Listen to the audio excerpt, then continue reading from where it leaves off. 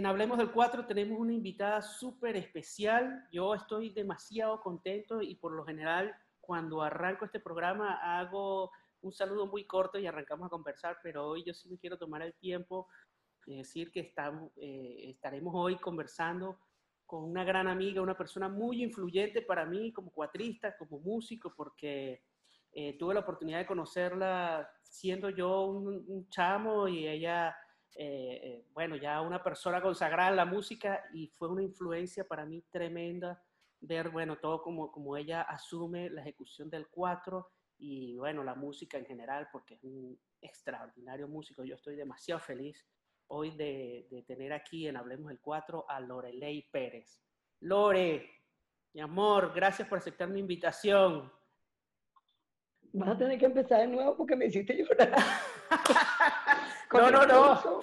No, no, no, esto lo vamos a hacer así. Yo no, sé, yo no sé qué vas a hacer. yo cuando te invité, Mi Lore, yo cuando te invité, tú me dijiste, no me pongas en ese umbral, umbral tan alto. Y yo dije, pero si tú estás ahí, Lore. No vale, Lore. Este, sí, bueno, lo que sabes, eh, me hace recordar cosas muy lindas. El cariño me que hace yo te recordar tengo y cuando, Claro, mi vida y es recíproco. Ánchale, mi amor, perdón, no, es que pues, yo no, no pensé recordar esa época tan linda. Mm. No, no, y perdono también por la... Bueno, pero es que algunos me dicen lloreley.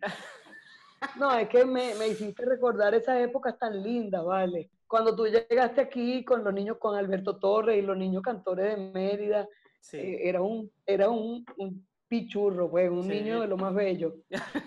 que te veo siempre, todos los jueves pones un TBT y ahí, bueno, me hace recordar. Mira, no vale, de verdad que es un placer y gracias por la invitación. Y bueno, eh, disculpan la, la, introducción un poco llorosa, pero... No, Lore, mira, este, bueno, sí, yo me acuerdo que te conocí, este, yo estaba aprendiendo a tocar cuatro, tendría, no sé, un par de años tocando cuatro, y fuimos allá a Carayaca con los niños cantores, y eso fue demasiado emocionante para todos nosotros, los niños cantores, el montón de, de, cosas que aprendimos con ustedes allá en Carayaca. Eso fue como en el 95, 94, por ahí. no, yo creo que sí, por ahí. Tal vez antes, Héctor, yo creo que fue antes. Sí. Bastante antes, sí, eso fue antes. Entonces... Fue finales de los 80, principios de los años 90, por ahí. Por ahí, por ahí fue. Pero bueno, mira, Lore, yo quería este, eh, que me contaras un poco, bueno, tú eh, vienes de una familia de músicos eh, y ya creo que desde la barriga tú venías escuchando música, pero ¿tú, ¿tú, recuerdas tu primer contacto con el cuatro, el primer cuatro que tuviste, o ese fue el primer instrumento que tocaste, o tocaste otro antes? No, bueno, además pues no, fíjate, fíjate mi, mi, mi conexión con el cuatro fue desde pequeñita, porque mi papá viejo, el papá de mi tía Tirsa, eh, fundador de la Voz Risueña, eh, José María Álvarez se llamaba él, ¿no?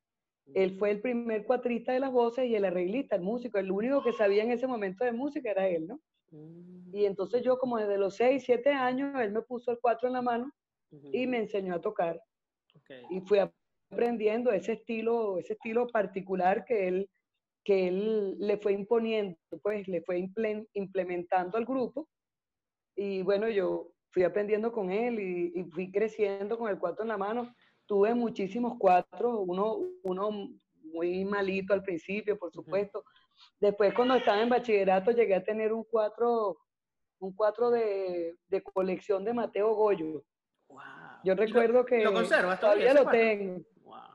Sí, tengo, tengo el cuatro, el cuatro y medio y el cinco y medio, ¿no? Que por cierto, Javier lo, lo tengo ahí anotado, esa va a ser su herencia, dice Javier. Javier Marín dice, esta es mi herencia, esta es mi herencia. Mm, Mira, sí, bueno, después tuve ese cuatrico. Bueno, antes del de Mateo Goyo tuve otros cuatro, pero realmente cuatro así bastante aceptables, que no fueran esos hechos así en serie, eh, fue ese. Después tuve uno de que me robaron, uno de, de Navarro, que me lo robaron, me robaron el, carro y el carro, el cuatro estaba en la maleta del carro. Y después, bueno, este, que es el que está usando desde el año 95, por ahí. Ya te iba a decir que tienes muchos años en ese cuadro, te he visto muchísimo. Con este cuadro, sí. Este cuadro lo construyó, me lo construyó Víctor Carrera, el zurdito del grupo Luango, ya fallecido también, pero que ah. él es el excelente luthier, un chamo, un muchacho muy estudioso, y este estudioso de la construcción del cuatro, pues.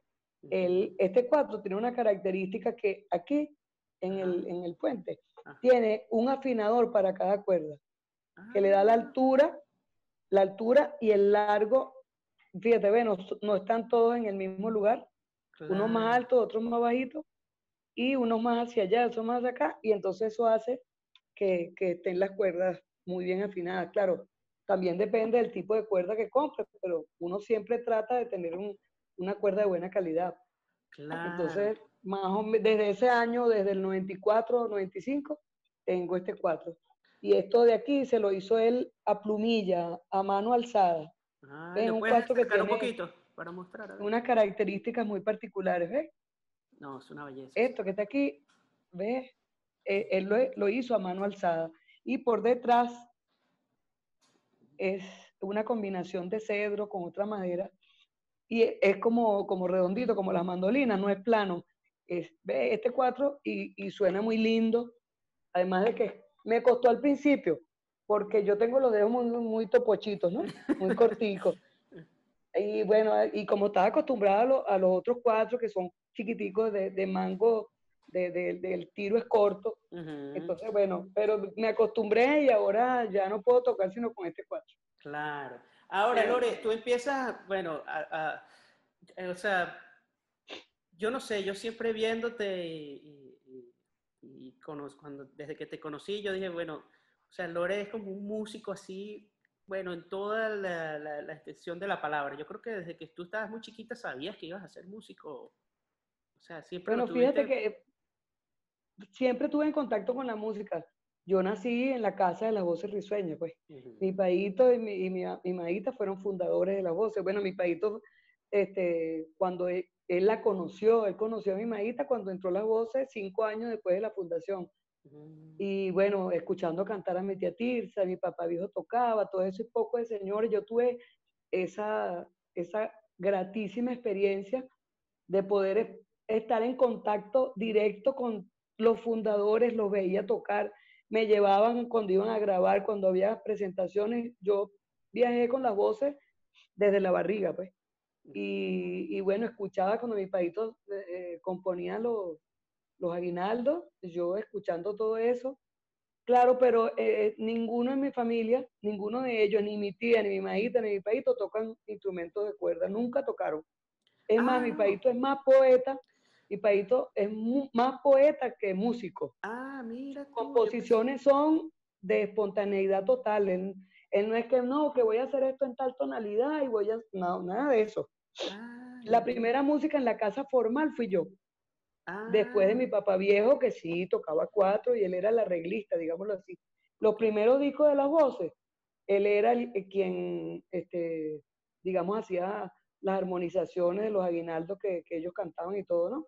Después mm. entonces el cuatrista era Ramón Curiana. ¿Tú te acuerdas? El señor que tiene el dedo así, Ramón Curiana, que tiene el dedo así torcido. Bueno, cuando yo estaba niña de 8 o 10 años y lo veía él tocando cuatro, porque él toca muy bien, y con el mismo estilo ese Yo lo veía yo, yo, lo veía él tocando y decía, oye, a mí me gustaría tocar como toca él, ¿no? Y lo veía haciendo posiciones en el 4, pero como él tiene un dedo torcido, yo veía que hacía unas posiciones que yo no podía hacer y no eran las que yo había visto que mi papá viejo hacía. Ah. Hizo tan raro, ¿no? Bueno, y así fui como tomándole cariño a la cuestión del cuatro. Ok, ok. mi primera, digamos, incursión directa, eh, siendo yo la cuatrista de las voces, fue en el año 81. Ramón Curiana ya no estaba en el grupo y no había quien tocara el cuatro. Entonces yo le dije a mi tía, bueno, yo no soy una artista, una cuatrista así demasiado, eh, digamos, estudiada, ¿no? Pero eh, ¿Te sabías ya los temas y todo eso? No, no, por supuesto. Yo me sabía y tocaba, tocaba, pero digo, no me, yo, yo decía, bueno, pero pasó una grabación de un disco. yo me lancé y ahí salió esa grabación y, ese disco fue muy bueno. Pues. Bueno, y después mi tía, entonces, en, en el año 83 por ahí, 83, 84, me asignó la responsabilidad de, que dirigiera yo el grupo y ya yo estaba estudiando música formalmente, que mm. fue cuando conocí a Alberto. Alberto Sí, porque él estudiábamos juntos en la Pablo Castellano. Y bueno, imagínate, él se quedaba hasta en mi casa, él vivía aquí en la casa conmigo. Y cuando se fue para Mérida de nuevo, me dijo, yo quiero llevar para allá a los muchachos de, los míos de aquí, de los niños cantores, que fue cuando te conocí a ti, bueno, y a todos los demás muchachos. Exacto, sí. Ellas son ahora, son unos, unos, unos, músicos consagrados. Sí, esa, esa, generación de los niños cantores, bueno, gracias a esas vivencias que tuvimos, este, Hubo mucha influencia para ustedes, ¿no? Muchos músicos profesionales de esa generación de niños cantores. Sergio, Edwin Arellano. Sí, los, los morochos, Zambrano. Juana Torres. Juana, Juana Torres. Los Escalona, Rodolfo Escalona. sí, también. Y, y, grandes cantantes. Lo que pasa es que más bien las muchachas, este, muchas que cantaban buenísimo, no se dedicaron seriamente a la no música. No se dedicaron. Glenda, Glenda y Glenda. Ajá. Este, no, una generación maravillosa. Ahora, este, pero tú empezaste entonces a tocar las voces risueñas, o sea, a, estar, a participar en las voces risueñas desde niña, ¿no? Desde que nací. Yo soy una voz risueña desde que nací, aunque empecé a participar como a los 12 años, digamos formalmente. Yo mm. estaba en los ensayos y aprendí a tocar percusión. De hecho, mi profesión como músico, pues la que yo asumí como una profesión eh, de escuela, aprendida y con diploma y, tal y qué sé yo, fue la percusión. Pero mi primer contacto con la música eh, popular fue con los instrumentos de las voces. Yo, yo aprendí a tocar furruco viendo al señor tocando furruco. Nadie me enseñó, sino que yo lo veía y lo aprendí a tocar. Y un día me puse a tocar y mi tía Tisa me dice, hijita, pero si tú sabes tocar eso de lo más bueno, ¿sabes cómo habla mi tía, no? Claro, pero nunca había tocado cuatro porque el cuatrista era mi papá viejo y Ramón Curiana. Después, bueno, eh, cuando Ramón ya no estuvo, yo como me lo planteé como, como, como un, objetivo, pues. Voy a tocar el cuatro y yo me sabía todo lo, todas las canciones, todos los aguinaldos. Y después que mi tía entonces me responsabilizó como directora, bueno, con más, con más razón todavía. ¿Y en qué año, en qué año empiezas tú a ser directora de la José Risueña? En el 83, ya yo, ya yo voy a 40 años ya yo estoy pasada, ¿viste? Estoy pasada de... sí, tiene, que, tiene alguien que venir a sustituirme porque uno... No vale, ahora es que tiempo de vida útil. No, ahora, que tengo, ahora que, de verdad, ahora que tengo mi viste. Ahora es que tienes para, no, imagínate. Pero ahora, este, bueno, tú empiezas a dirigir la José Risueña, a ver si yo no me estoy saltando mucho el cuento, pero eh, la José Risueña originalmente siempre fue un grupo de música navideña, todavía lo es, digamos, pero, pero después ustedes como que también empezaron a hacer mucho trabajo de investigación, de ir a, a otras regiones, a aprender otras... Así es. ¿Eso fue a partir de tu dirección o antes también se hacía? Sí, a partir de mi dirección. Mm. Porque cuando mi tía era la directora, siendo yo integrante, eh, había esa inquietud, ¿no? En mí y en algunos de nosotros, pero por no pasar por encima de, bueno, la directora es la que decide, pues pero mi tía Tirsa, bueno, ella veía, yo hacía, y hicimos, te voy a decir, en el año 75, 76, por allí, después que yo salí de bachillerato, eh, y comencé a estudiar música formalmente, eh, hicimos como un grupo, un grupo vocal, y eso nos ayudó mucho para la individualidad auditiva de los integrantes. Entonces podíamos cantar, se fue como gestando un movimiento de, de, perfeccionamiento perdón, de la voz, de ir ganando calidad vocal, de ir agudizando el oído para que te cante al lado una segunda voz y tú no te pases para allá. decir, fuimos metiéndole, aún sin yo ser la directora, pero yo le decía, tía, ¿qué te parece si hacemos, vamos a meterle una segunda voz aquí, vamos a hacer tal cosa? Y ella, siempre mi tía muy abierta a todas las recomendaciones, ¿no? tanto mía como de otros músicos como Antonio Manzanilla, por ejemplo, que es un tremendo maestro de la guitarra y de los instrumentos de cuerda. Claro, entonces él también es muy bueno armonizando y yo aprendí mucho de él, yo lo veía, digo, oye, Antonio cuando está en una tonalidad menor y hace tal cosa, yo veía mucho, ¿no? La manera de armonizar. Me cuidaba mucho de eso, pero no era tan presente mi, digamos, mi, mi influencia. Ya cuando mi tía me da la responsabilidad a mí, eh, en ese momento casualmente surgieron un poco de grupos como un solo pueblo, por decirte algo, en, el, en, los años 80 por ahí, surgieron un poco de grupos en Venezuela que venían como con esa, esa eh, ese ímpetu, esa, esa meta de como de resaltar la música venezolana, ¿no? Y yo dije, bueno, pero aquí en Carayaca lo único que se hace no es aguinaldo. El grupo nació cantando aguinaldo y así se mantuvo por un poco de tiempo. Pero entonces, bueno, ¿qué les parece si empezamos a trabajar primero las cosas de Carayaca? Por ejemplo, la fulía y los velorios, las canciones y la música característica de los velorios de cruz, eh, los tambores, el golpe de tambor, que no es de Carayaca, sino de Tarma. Pero Tarma pertenece a la parroquia de Carayaca. Están ahí al ladito, sí. Estamos ahí en el miadero, como dicen, como dicen los orientales. este, también el, entierro de la sardina, que por cierto se murió Julio no hace mucho, ah. era uno de los que mantenía esa tradición. Pues. Y después entonces de eso empezamos a hacer como, empezamos como a incursionar en, visitando distintos lugares, fuimos a distintas regiones de Venezuela y fuimos conformando, pero ven acá, eso fue este, lento, un proceso que se fue haciendo lentamente eh, mientras íbamos eh, también enseñando a lo que hoy en día son la tercera generación.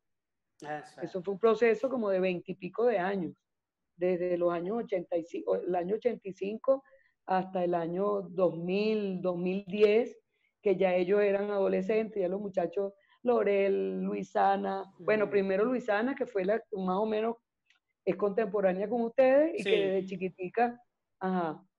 Eh, Luisana, digamos que inauguró lo de que no, te, no tenías que tener cierta edad para ingresar al grupo, sino ella desde los 4 o 5 años ya la llevábamos para todos lados. Ah, yo pensaba que eso venía incluso desde, desde tu época, que tú desde niñita estabas ahí, pero no, más bien... Yo estaba desde niñita, pero uno tenía que ser mayor de 12 y 13 años. Ah, no, de verdad que... Porque mi tía, porque mi tía decía, Luisana desde los cuatro años, después Ariana, la, la, hermanita menor, este, ella también desde chiquitica, de los tres, cuatro años ya cantando con orquesta y todo. Sí, a mí, a mí eso me pareció muy bonito las voces que, que, o sea, que hay desde niños hasta gente muy mayor, o sea, de, de todo. Claro. Bueno, en ese, en, en ese convivir, digamos, convivir armónico de las tres generaciones, eh, se fue conformando también un repertorio variado, variadísimo, variadísimo y muy, muy nutrido, pues.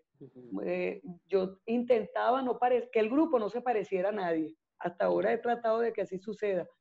Y eso de que las tres generaciones estén, estén juntas y que participen. Otra cosa que también siempre nos ha gustado hacer, o me ha gustado a mí, y que los muchachos lo han asumido con, los muchachos de los de antes como yo y los nuevos también. Este, les gusta la idea de, de, hacer eh, que todos somos como integrales. Todos cantamos, tocamos y bailamos. No es que la, mayoría de los grupos, exacto, sí. Bueno, con, cuando comenzamos a incursionar en la danza, en ese momento hubo una, un apoyo de Fernando, el papá de Lorel, Fernando Rodríguez, que él era del grupo Luango y es el primer esposo de Flor, de mi hermana, de la generación nuestra. Él, estuvo en el grupo mientras estuvo aquí en Carayaca. Entonces, bueno, eh, eh, comenzamos con él a hacer trabajo de investigación y, comenzamos a incursionar en la parte dancística también, ¿no? Y nos dimos cuenta que, que bueno, que teníamos las posibilidades. Bueno, aquí mm, en, en, las voces no somos como los otros grupos que un grupo canta, el otro baila y los otros tocan. O uno canta, un grupo canta, los otros tocan y los otros bailan. Aquí yo estoy tocando el cuatro y tengo que bailar los giros, suelto el cuatro y alguien lo agarra y, y, yo, bueno, o por lo menos lo intentamos. Y eso le da un poquito de, de, de, originalidad y de variedad al grupo, ¿no? Claro. Ahora, en, pues. en, esos momentos de investigación, eh, claro, tú, como tú dijiste antes, tú eh, te fuiste por el lado de la percusión, digamos, fue lo que estudiaste más formalmente y me imagino que era una de, de las cosas que, a las que más le prestabas atención al momento de la investigación, pero, pero un poco, bueno, como esto es hablando un poco del cuatro, este, claro, claro. Tu, tu, experiencia como cuatrista a lo mejor de conseguirte con géneros raros, extraños, ¿tienes algún cuento así que te acuerdes o algo? Claro, mira, eso te iba a comentar casualmente, ¿no? Claro, no, yo no iba con ninguna así, un pensamiento fijo de que nada más la percusión ni nada, ¿no? Como la que tocaba instrumentos de cuerda en mi generación, la única música era yo. Y la única que sabía de armonías y de cuestiones de esas era yo. Entonces, Nancy, Flor, eh, ah, bueno, Neito también. Este, pero él no iba con nosotros. Neito, tu hermano, ¿no? Luis, Luis. Sí, sí, el violinista. el papá de Luisano. Exacto. Bueno, ok, entonces yo iba pendiente de, de, digamos, distribuir en, en, tres cosas. ¿Quién va a hacer la investigación literaria, digamos, del contenido? Y yo hacía las transcripciones de percusión y de las armonías y veía, ¿no?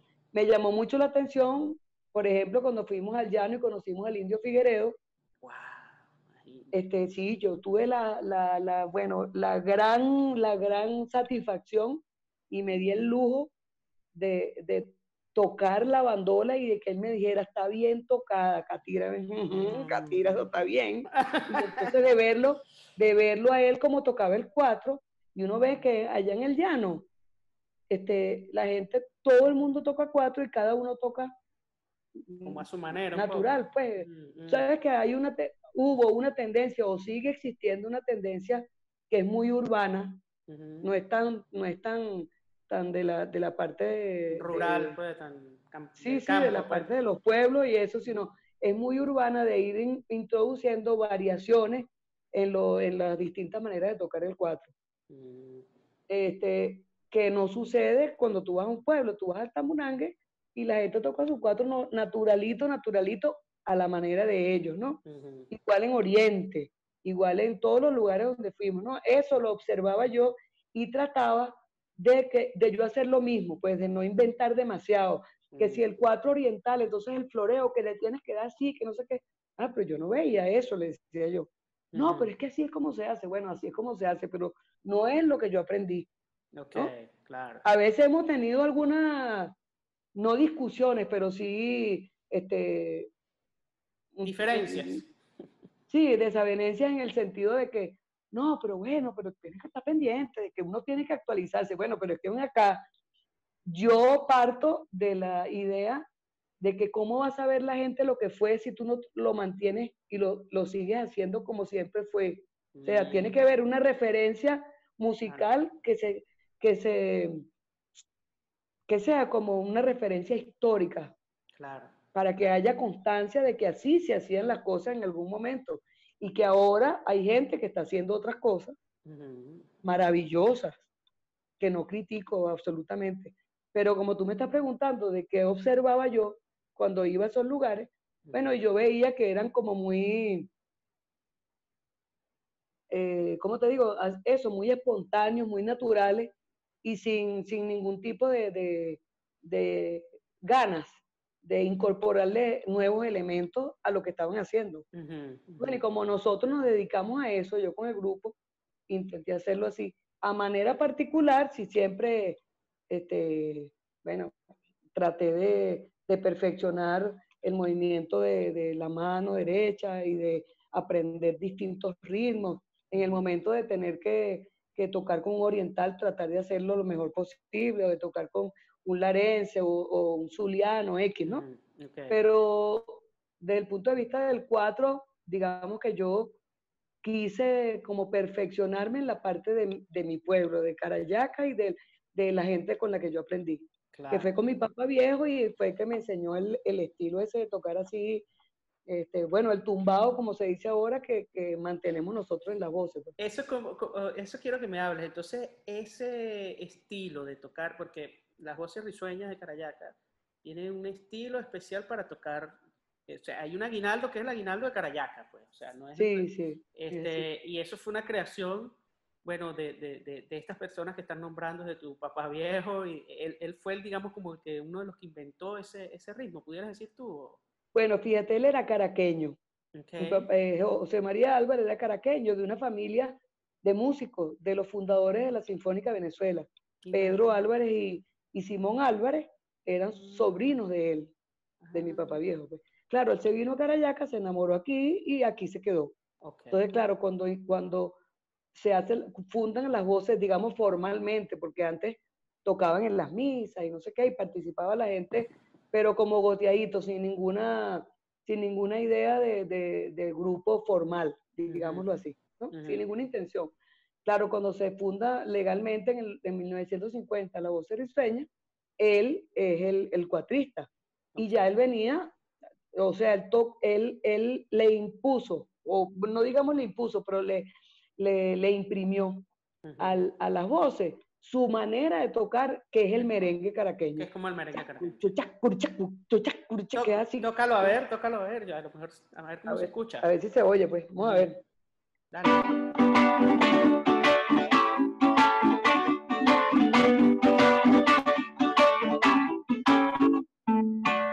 Ese es como el estilo del, ese es del 4. del 4 dentro, del aguinaldo de las voces risueñas. Sí, así comenzó, tú oyes los discos de, los primeros discos, claro, eso fue ganando un poquito de velocidad, pero siempre...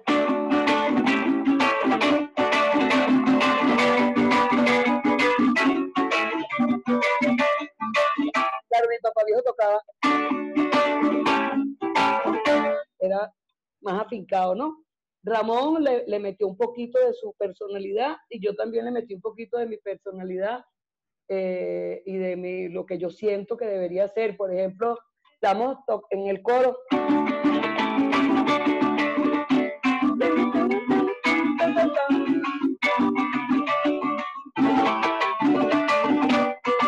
Una vez. Termina de repente el solo, ah, eh, por ejemplo, la perdón del niño. Prepare la mesa, prepare la mesa, y para que el niño. Uno, para que rachin, como cantando con el cuatro y con la voz, pues. No simplemente. Otra cosa, aquí eso es es el, el, tradicional manera de tocar el merengue. Aquí nunca se hizo sino así, a mano abierta.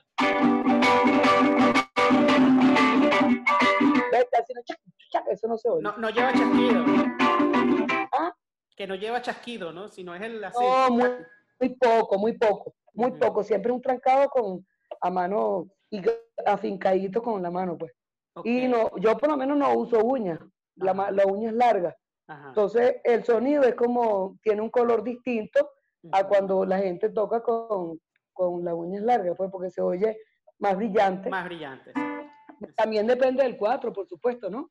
Del, del, del, del, material con que está construido el cuatro, pero este, bueno, a mí, a mí me gusta mucho cómo suena. Este por ejemplo, este, toma muy de mañana con tema. Ah, ok. Ese es como ese mismo, pero más lento, ¿no?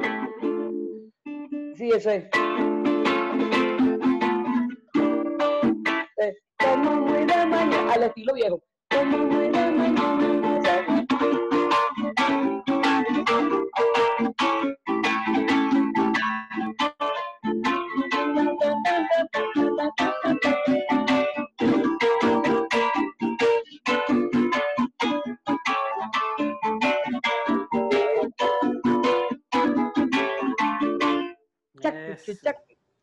Es decir, lo hacemos un poquito más rápido.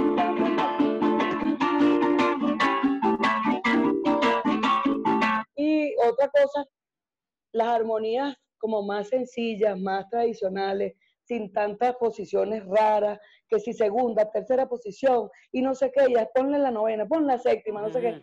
Claro. A mí, entonces se empieza como a, a tergiversar. Yo siento que, que la originalidad se va perdiendo porque las músicas de ahora no son como las de antes, digamos las composiciones actuales.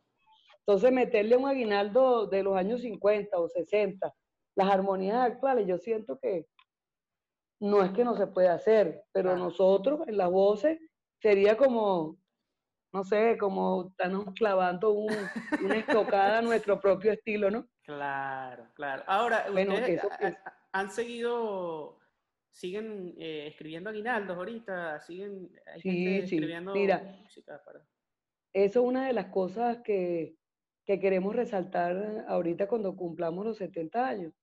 Aparte de, resaltar lo de, la, lo de la progresiva incorporación de las distintas generaciones eh, que se han ido formando con la vivencia permanente dentro del grupo, que ahorita estamos formando la cuarta, aún en las circunstancias actuales en que no vivimos todos en Carayacas, que mm. la, gente de la cuarta generación, se, de la tercera generación, perdón, ha tenido que irse a vivir a Caracas o a otros lugares por, por cuestiones de trabajo. Pues.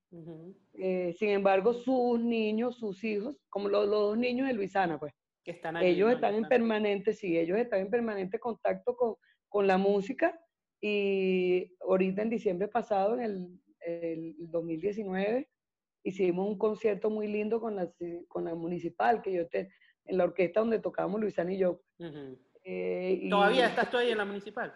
no, no, ya donde está Luisana ahorita, pero donde estuve yo. ¿Estuviste tú un poco de eh, Sí, yo estuve un poco de años, en 20 años estuve yo en la municipal.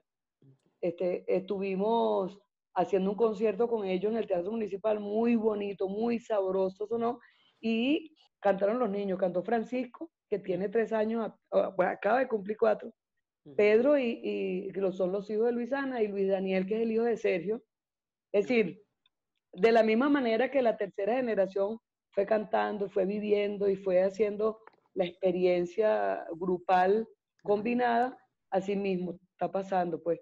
Entonces, esa es una de las cosas que queremos resaltar. Lo otro es mantener el estilo, el estilo de siempre, tratar de hacer como un hilo conductor de, del estilo del grupo a través de, el aprendizaje de cómo se tocan los instrumentos. Aunque tú sepas tocar la música de cualquier lugar de Venezuela, deberías saber tocar primero que nada el aguinaldo y la parranda de Carayá, que las cosas de aquí. Pues digamos, como garantía de perdurabilidad. Bueno, pero entonces ahí voy a, lo otro que quería como preguntarte, que es de la, de, la, de la, escuela de música que crearon ustedes ya este, ahí en Carayaca, Claro, eso fue, sí, hay dos ahorita. Esa fue una propuesta mm, eh, que, que, se hizo al Ministerio de Educación en el año 2000, cuando cumplimos los 50 años, y nos lo aprobaron como escuela de música y arte. Y después, bueno, ya hoy en día es una escuela técnica. De ahí han egresado muchos muchachos, pero eso fue una propuesta mm, del punto de vista formativo para la comunidad, para la comunidad, para brindarle a la gente una oportunidad distinta, una posibilidad distinta de estudio que no sean los estudios tradicionales de bachillerato. Hoy en día, bueno, ya por, las, por la distancia ha habido problemas para que los profesores vengan. Sin embargo, en el 2018 Aquí esa escuela tiene su propia sede en, eh, fuera, un poquito más abajo de, la entrada del pueblo, pues a las afueras, en las afueras del pueblo. Pero en el 2018 también hay instancias de, del mismo grupo, de nosotros y de las voces, y por las características, mm, digamos, docentes y formativas que siempre nos fueron, nos fueron eh, reconocidas, el Ministerio de Cultura, ya no el de Educación, el de Cultura, este, abrió un centro de formación cultural. O sea, nos no dio la posibilidad. Y ahorita, desde el 2018, estamos ahí haciendo algo así como eso, un centro de formación. Tiene, eh, tiene las posibilidades un poco más amplias que una escuela técnica, porque no es, no es apegado a una estructura eh, digamos, educativa formal que tiene que hacer esto, esto y esta materia, no sé qué, sino que es un poco más amplia el, espectro de posibilidades.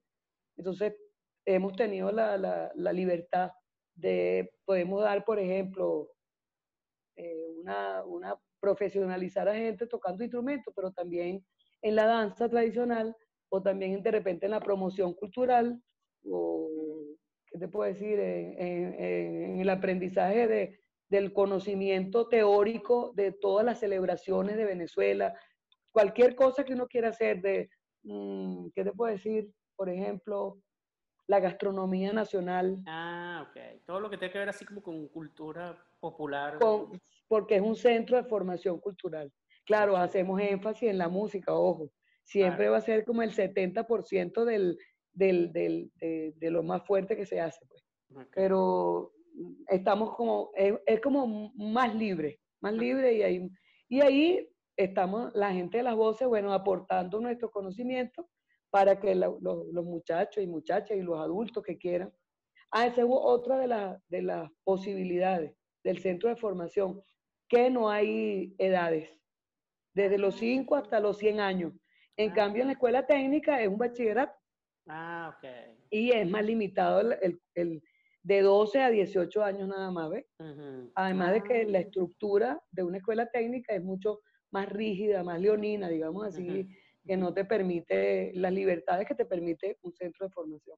Pero bueno, ahí estamos, estamos trabajando, digamos que en conjunto, pues. Ok, ok. Mira, y ahorita entonces me dijiste antes, las voces están cumpliendo este 2020 70 eh, años ya. Había, me imagino que habían, bueno, como, estamos todos en el mundo, que tenemos planes y tal. teníamos una planificación y bueno, estamos ahorita adaptándonos, estamos haciendo un disco. Vamos a ver cómo lo, cómo lo, un disco nuevo. ¿De qué, de qué, de qué va el disco? ¿Nos vas a contar o no? ¿O es secreto? El disco, el disco es de como el que dice, no, no, es secreto, no, nada. Y no es secreto. Si más bien nos interesa publicitarlo. Claro. Mira, eh, así como en el año, en el año 2000, cuando, hicimos lo, cuando cumplimos los 50 años, hicimos un álbum doble. Sí, que estaba eh, Pacheco, Lilia Vera, todo ese. Exactamente. Después, en eh, cuando los 60 años, también, pero ese fue nada más de aguinaldo. Ahora queremos hacer uno doble porque hay material suficiente. Cada disco va a tener 15 temas. Uno de puro aguinaldo Ah, me habías preguntado y me fui por la rama. Qué raro en mí. Okay. Lo de los compositores. Entonces, bueno, voy, a retomar, voy a retomar lo de los compositores. En ese disco de, de, Aguinaldos, eh, todas las composiciones son inéditas y, una sola, una o dos nada más de la señora Emma y uno de mi paíto. Todo lo demás, Aguinaldos de Neito, de Luis Pérez, pues, de Luis Pérez Hijo, de Flor, de gente de aquí de Carayaca, de Pola Mayora, de Cándida, María Candelaria Díaz, gente del grupo que empezó también el proceso creativo y que han aportado bastantes cosas interesantes para, para el incrementar el repertorio de las voces. O sea, que ha venido, sigue, sigue creciendo el repertorio de, de las voces. Sí, sí, no. Este disco de 15 no tiene ni un solo aguinaldo, solamente dos, a mi Carayaca los otros 13 son, son nuevos, de composiciones nuevas. Eh, y el de otras celebraciones, que no es, que no es solamente de Aguinaldo y Parranda, hay cinco composiciones de flor, un sangueo de caraballera, una gaita de tambora, una fulía de la parte de la costa este de Vargas, no de la fulía a la manera nuestra, una ah. fulía de la señora Epifania, que ya se murió, la señora de Tarma. casi todas son cosas. Solamente eh, Flor también un, un, ¿cómo se llama? Lo, que se canta en Oriente. una, diversión, una diversión. Una diversión, una diversión que se llama El Colibrí, que la canta Luisana en ese disco. Varias cosas, ¿viste? Varias eh, composiciones bien, bien raras. Digamos que es como una prueba, una prueba a ver cómo nos va, porque eh, no son puras cosas de Carayaca, sino que estamos haciendo cosas distintas. Pues. Pero ya, ya grabaron, no están grabando todavía. Ah, no, ya está listo, ya está listo. Ya está Rafa editando y ah. vamos a mezclar y a ver cómo hacemos para que, para que se salga, sí, se saque por allí. Eh, hay poquitas cosas, por ejemplo, un, un tambor coreano que es como una recopilación en homenaje a una gente de, Falcón que, que, ha sido muy especial con nosotros. Y en, estos, en este disco no canta nadie, ningún invitado de afuera. voces. Pura gente de Carayacas, sí. Qué chévere. Los viejos, los, ajá, cantan los muchachitos, canta Pedro solista en uno, Pedro el hijo de Luisana. Y mm. bueno, ahí estamos. Ok, pero yo siento que Carayacas es un pueblo donde de alguna forma u otra como que todo el mundo pasa por las voces risueñas, ¿no? O sea, de verdad que... Bueno, sí, esa es la idea, pues.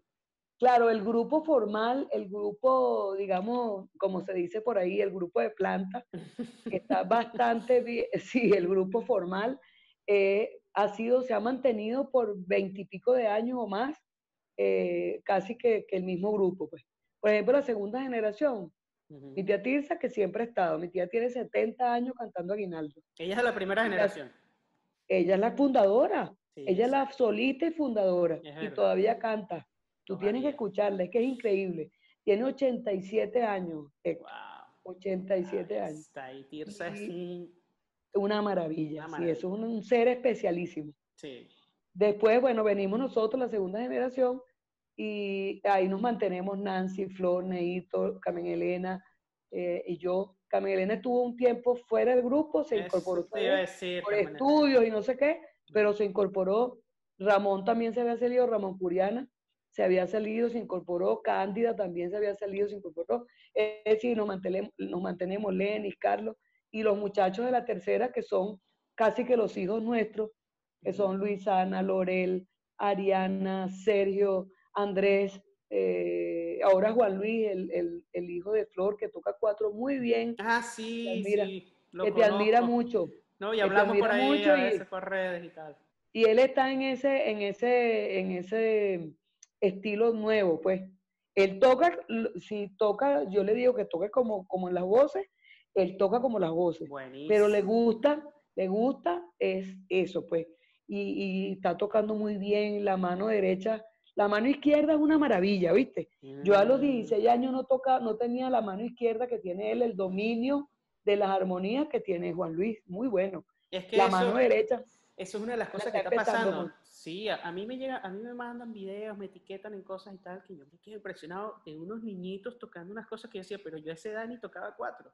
No, ni pendiente. Yo, la evolución del instrumento va a una cosa así, no sé. Pero eh, exactamente, eso es excelente, ¿viste? Eso es maravilloso, igual que lo que pasa con la bandola, que hay también un movimiento de, de, de, que, bueno, de, como de competencia, de quién toca mejor la bandola. Eso es excelente. Independientemente que, que, de repente mm, a lo mejor el estilo no es el que es o lo que sea, pero esas nuevas tendencias eh, tocan, que se le van como incluyendo al instrumento, es una para mí es una maravilla porque es como dices tú, es la evolución que va pero a, mil kilómetros por hora. Y, y es chévere. Las maracas. ah, bueno, con las maracas también. Pero es chévere eso que está pasando eh, en, en, el caso con tu sobrino, que que, que, él maneje el género como es tradicionalmente, pero que bueno, que en otros ámbitos él, él, puede hacer otras cosas, pero cuando va a algo tradicional, lo, maneja también. No, y las mismas cosas tradicionales, por ejemplo, en estos días estaba inventando de hacer un joropo tuyero con el cuatro. Entonces Flor me dice, Lore, ¿tú crees que, que podamos? Yo le digo, bueno, pero eso nunca se ha hecho, pero podemos hacerlo, a ver qué sale, pues. En vez de con guitarra, porque tú sabes que a veces el grupo el tuyero o central se toca con guitarras, este, pero pudiera ser con cuatro, pues. Vamos a probar, se puede hacer. Aunque nos salgamos un pelito de la cosa, pero vamos a probar, no es, no, no se pierde nada. Y ahorita hay esa, esa, los muchachos, todos están estudiando eh, como para mejorar en, en, la ejecución de su instrumento. Sergio, por ejemplo, toca bandola muy bien. Sergio, el hijo de Neguito. Nosotros nos mantenemos un poco más tradicionales, ¿no? Claro. Yo, pero claro, eso no significa que yo no, no, no intente, eh, por lo menos las armonías, esas cosas me, me interesan mucho, el estudio de las armonías. Pero no, no, prefiero que sean las otras generaciones las que empiecen también a, a como hacerse sentir, ¿verdad? Como hicimos nosotros en algún momento. Claro. Como estás haciendo tú, pues. Como están haciendo ustedes. Claro, claro. Pero mira, Lore, y en algún momento, eh, tú participaste en otras agrupaciones como cuatrista, hiciste algunas otras cosas como cuatrista, en otras cosas. ¿Mataste tus tigres por ahí tocando cuatro en otro lado? Algunas veces, pero no fue, no fue mi, como te digo, yo asumí el cuatro como mi instrumento, como el instrumento para las voces risueñas. Y como yo, eh, las voces risueñas han sido mi proyecto de vida. Claro. Entonces, sí, una que otra vez, pero digamos, nunca utilicé el 4 como para eso. Si me llamaban, mire, para que hagas una grabación de no sé qué, pero es cosas así muy puntuales, pero no como otra gente que, bueno, que eso es que, que se, se fajan y los llaman para, ven para que toquen en tal lugar, nunca. Eso nunca lo hice yo. De hecho, eh, mi, mi, carrera musical nunca fue basada en, en, eso, así como dices tú, matar sus tigritos, nunca. Ni con la percusión siquiera. Ni, siquiera con la percusión, eso te iba a preguntar. No, no, ni siquiera. Muy poco, muy poco. Claro, Poquísimas veces. Estudiaste percusión clásica formalmente y claro, estudié la percusión en la escuela, en la escuela de música, y, y, lo que se llama la académica, pues que es el conocimiento y pues, aprender a tocar todos los instrumentos de orquesta pero, pero yo tenía el aprendizaje de, la, de, la, de, las cuestiones populares y haber adquirido la técnica de la percusión me ayudó mucho a rápidamente poder hacer transcripciones y aprender a tocar los tambores de, de cualquier lugar de Venezuela, tocar otro tipo de, las maracas orientales distintas, yo sé que son distintas, etcétera, etcétera. Pues. Sabes que el mundo de la percusión es muy amplio. Muchísimo. Pero como estamos hablando del cuatro, no, claro, como estamos hablando del cuatro, pero de tu experiencia también, porque además me imagino que también eso te ha ayudado a ti como cuatrista también a, porque el cuatro también es un instrumento demasiado rítmico, eh, a, que tú como cuatrista también asumas eso, pues la, la, la, la cuestión rítmica que lleva el cuatro, que, que, no será igual como lo piensa uno que viene siempre desde el cuatro a, como a lo mejor lo ves tú como, como alguien que es percusionista, ¿no? ¿Cómo, cómo encaja la, percusión con el cuatro en muchos géneros, ¿no? Ahora que tú haces mención de eso, me parece que, el 4 para mí ha sido eh, como el, la manera de yo hacer percusión, porque es que el 4 también es un instrumento eh, como, como, como también es, como percutivo, ¿no? Eh, ajá. Y la manera de tocar que yo aprendí, yo siento que, que va más por, por, la, por la percusión. Lo que sí me facilitó mucho el 4 es que es el instrumento que me permitió poder dirigir. Yo dirijo con el 4. Yo me paro frente a un coro, que ha sido otra de, de mis experiencias musicales eh, en, la profesión, y siempre con el 4 en la mano, porque el 4 me permite yo establecer el tempo que yo quiero. Si yo me mm. paro con una, con una, varita en la mano, o, o sin batuta dirigiendo el coro con la mano solamente, este, siento que se me va de la mano. Con el 4 yo establezco el tempo y me siento como que domino pues la situación en el momento, pues desde el punto de vista musical, siento que el 4 me ha permitido eso, no solamente acompañar, sino también dirigir con el 4. Y por eso, por las características de percutivas que tiene, las características sobre todo rítmicas que se pueden hacer con el 4. Claro, Mira, ¿ya cuántos discos tiene las voces? ¿Cuántos discos? Creo que 20, ¿oíste? Pudiéramos tener más, pero a veces que se desafina la cuestión. y el libro, el libro ese que hicieron ustedes, bueno, hace un montón de años, pero... Sí, hace tiempo. Ahorita estamos haciendo, ahorita estamos haciendo recopilaciones. También hay muchas experiencias bonitas que queremos resaltar en estos 70 años. Es que Luisana, su tesis la hizo de las voces risueñas. Y el posgrado que hizo también lo hizo de las voces. ella, ella transcribió 70 aguinaldos en su tesis en el año 2006, por ahí, que hace bastante tiempo que, ella se graduó. Ahora Lorel se graduó en el 2015 y transcribió 10 aguinaldos de su abuelo, de mi, de mi paíto, pues. Ok. 10 aguinaldos para flauta, de Luis Pérez Padilla. 10 aguinaldos para flauta. Todas transcripciones hechas para flauta. Y un muchacho de aquí que se llama Víctor Hugo, que es guitarrista, eh, hizo tres, también aguinaldos en mi país, pareciera que les gusta mucho a la gente, gracias a Dios. Eh, tres aguinaldos en mi país este, para guitarra. bellísimo. Entonces, todo eso lo vamos a grabar, a grabar en audio y en video, y también vamos a hacer, ya la, tesis de Lorel la publicaron, está mm. publicada por internet, se, puede ver, pues. Se puede ver. Y, y se puede adquirir también, tiene un precio ahí que realmente no sé, pero se puede adquirir. Queremos hacer lo mismo, publicar la tesis de Luisana y la de Víctor Hugo, de manera que, que, se quede ese material. Otro, otro material que queremos editar son arreglos que se han hecho de los aguinaldos.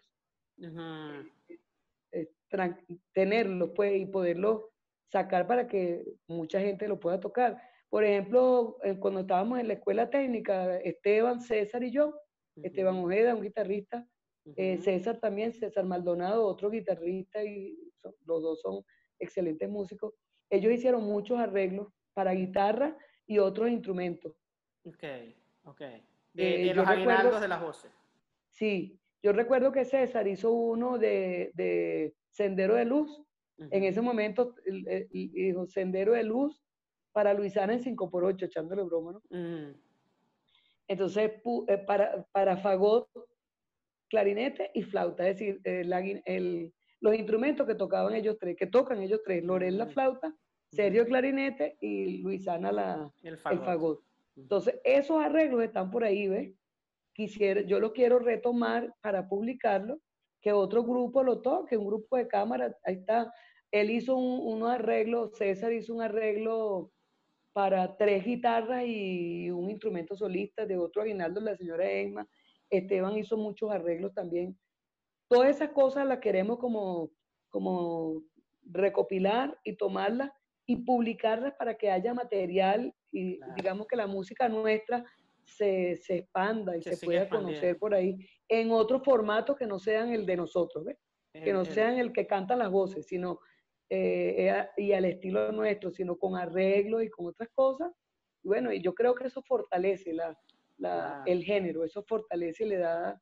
Claro, y, y, lo bueno es que hay bastante información de las voces, se consiguen muchas cosas, grabaciones, o sea, han hecho siempre, ustedes han difundido siempre su trabajo de alguna manera, o sea, yo a todo el que, el que se conecta por aquí y, y, ve esto, les, les, les recomiendo que vayan a, las, a, la, a, la, información de este video aquí en YouTube y ahí van a conseguir referencias y links de, de todo lo que hemos estado hablando aquí y de las voces risueñas, de verdad que se consiguen muchas cosas en, internet, hay conciertos completos en YouTube y todo.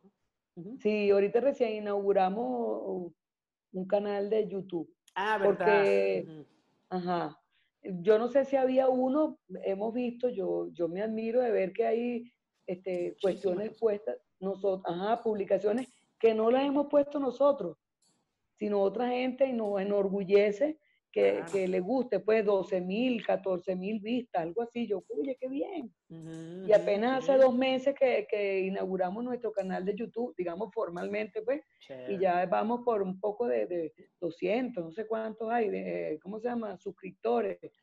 Y bueno, eso a mí me, me me da mucha satisfacción. Sí, sí. Eh, por lo menos este, esto es tiempo que, que, a mí me correspondió estar en el grupo, bueno, algo quedó, pues como decía mi paíto, lo importante no es vivir o morir, sino permanecer.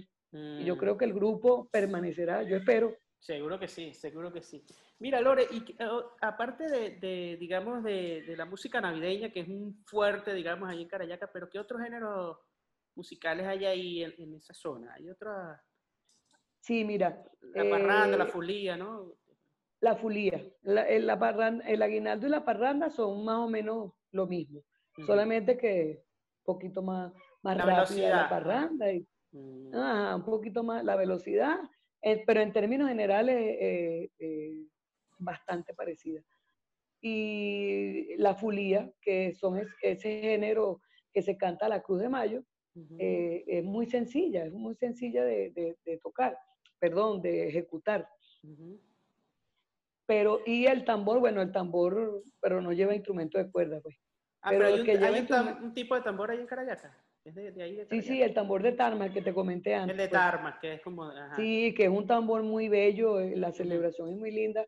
Es un tambor que tiene tres partes, Sabes que en otros lugares de Venezuela se cantan sirenas, por ejemplo. Son como esos llamados que se hacen como melancólicos a San Juan, ¿no? Porque tú sabes que la tradición dice que San Juan se quedó dormido para el día de su fiesta y se despertó el 29, que es el día de San Pedro, de junio.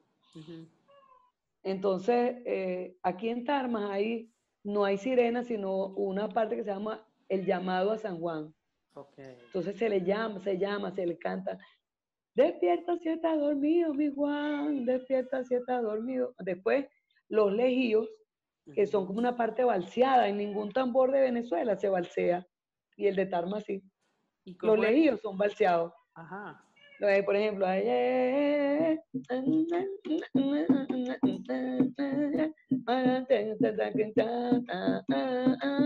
y la gente va balseando y después cuando se suelta, que es la parte del galanteo, digámoslo así, que es la jinca. Jinca, niña. Hay otro lugar donde también hay jinca, que es en, San Rafael de, Orituco. Eh, en Altagracia, Orituco y San Rafael, eh, San Rafael de Orituco, sí. Altagracia, Orituco y en Lezama. Este, ahí también hay jinca, pero no es como la jinca de aquí. Eh, el tambor de Tarma es muy lindo.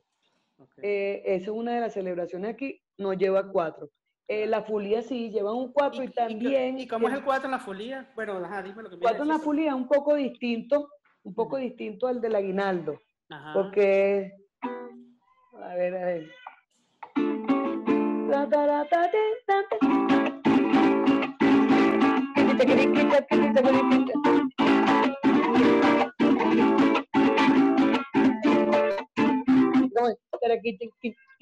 Pero es a 5. es a 5. Sí, el 5 un poquito más. Tampoco es a 6, ¿oíste? Mm, exacto. Tampoco es a 6, no es chaquiriqui, chaquiriqui, y tampoco es chaquiriqui, chaquiriqui, chaquiriqui,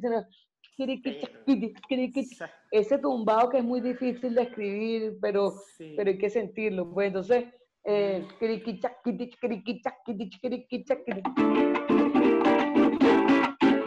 no es. Como el aguinaldo, ¿ves? Aunque a veces tú puedes hacer. Ese taca taca taca taca taca taca taca taca es, depende de también la fulía pero generalmente esa oye la mar como suena es de, es de allí. Es una fulía de aquí sí.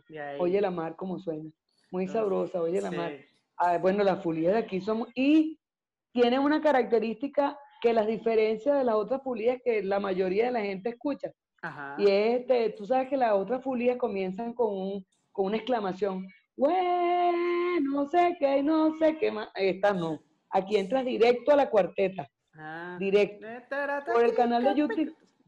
Exacto, por ejemplo. Por ser la primera vez, oye la madre cómo suena.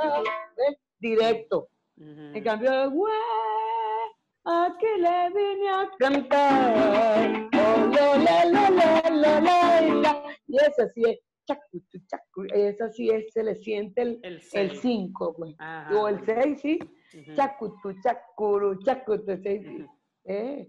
O a veces son bastante pegaditas el 5, ¿viste? Chaca, chaca, chaca, chaca, chaca. Depende, depende. Depende de la región, el sitio y todo eso, ¿no?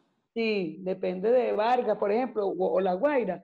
Eh, eh, allá mismo en la zona este de, La Guaira, lo, eh, Todazana es distinto a, La Sabana y la Sabana distinto a, a, Caruao. Y el tambor también se siente la diferencia. es que de verdad nuestra música es tan, tan particular, tan especial y tan poco publicitada, que es lo que, nosotros de siempre sutilezas, ¿verdad? De sutilezas, como que esto de detalles, de detalles que si que si no los haces como sutileza, como dices tú, o, detalles de interpretación que tienen mucho que ver con, con las zonas, con bueno, una cantidad de, de condiciones climáticas, mm. condiciones personales. Mm. Eh, hay una, y eso yo siento que eso hay que fortalecerlo porque si perdemos eso, estamos perdiendo casi que el 80% de nuestra identidad como pueblo, como Venezuela, como venezolano. Y ahorita que hay tanta penetración, tanta penetración foránea, pues donde nos están metiendo el reggae por todos lados, el reggaetón sobre todo. Mm, eso de verdad que yo siento que, que, que, que, a veces podemos hasta involucionar si nos dejamos atrapar por eso. Y yo creo que ahorita... musicalmente hablando, pues quiero decir. Sí, yo creo que ahorita tenemos una herramienta y una posibilidad que es el Internet, que por un lado... Exactamente. Pudiera ser muy invasivo, pero por otro lado, si tú te preocupas, este, puedes conseguir cosas maravillosas. Mira, yo me he conseguido con unas cosas aquí, Lores, en estas conversaciones, que alguien menciona, no, el grupo, no sé qué, me meto y de repente, oye, hay un video de ese grupo, o hay un disco publicado allí. Eh, hay, hay muchísimas cosas, así que yo eh, invito a la gente a que, a que, a que tenga esa curiosidad y no sé qué con solo que le pone la radio o la televisión. O... Exacto. Bueno, ese es uno de, los, de, los, de las cosas buenas que, que nos trajo esta cuarentena. A pesar de la, de la, la impresión eh, al principio, pues, y el, adaptarnos a una situación. Pero yo sí me di cuenta que todo el mundo, claro, estás tú encerrado en tu casa, sin, y entonces todo el que, el que es como tú y yo, que son como somos tú y yo, pendientes de las cosas de Venezuela, empieza la creatividad a hacerse presente. Y mira, yo he visto cosas publicadas, pero una maravilla, ¿viste? y hay como una, como una, un renacer, como un renacer de la necesidad de hacer, de hacer eh, como visible, mm. hacer visible, que aquí hay una música bella que vale la pena eh, conocer, pues que vale la pena investigar al respecto. Como dices tú, dándole un, golpecito ahí a la computadora, te consigues con una cosa maravillosa. Exacto, exacto, exacto. Y la tecnología ayuda mucho a eso, porque te puede, puede qué sé yo, hacer valer de, de todas esas herramientas para... Y tú puedes elegir, que es lo más importante decir, Exactamente. hoy voy a ver tal cosa, mañana... No, y, esto no me gusta, esto lo desecho. Exacto. Y esto sí lo voy a no, era, no, era como antes, no era como antes la televisión que tenías que esperar a que terminara el programa. para poder, Exacto, no, no, solamente eso, sino... Cambiar de canal, que será, pero más nada. Exacto, solamente podías cambiar de canal. Aquí tienes la opción de, de, de decir, bueno, eh, este, sigo con esto hasta, hasta el final, o, o voy a ver más, o qué sé yo, cualquier O veo un pedacito ahorita y después otro pedacito mañana y así. Exacto, exacto, es verdad. Bueno, o, o voy, o voy, ¿cómo te digo? compenetrándome más en el conocimiento de algo que, que, que desconocía. Exacto, exactamente. Oye, Milore, de verdad que qué alegría verte y conversar un ratico aquí. Nos hizo falta No me vayas a llorar otra vez porque las despedidas no, se pueden, no pueden ser igual que los inicios, por favor.